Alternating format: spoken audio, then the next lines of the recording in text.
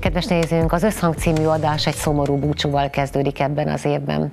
Babicsek Bernátra, a kiváló színművészre emlékszünk, akivel együtt dolgoztunk egy évvel ezelőtt a Minden határon túl című színdarabon.